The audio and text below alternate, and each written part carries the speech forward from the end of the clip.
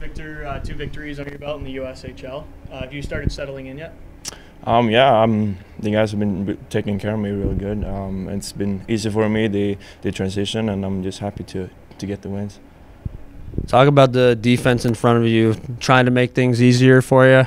Yeah, they played great tonight. Um, they they really made, made made it easy for me, and uh, the the shots that Green Bay had were were mostly from the outside. So Having those four skilled lines out in front of you, does that make it a little bit easier for you to kind of take a few more chances back there?